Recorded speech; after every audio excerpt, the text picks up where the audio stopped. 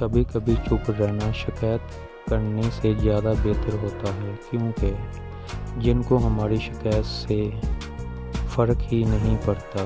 इनके सामने अपने लफ्ज़ ज़ाया करने का क्या फ़ायदा?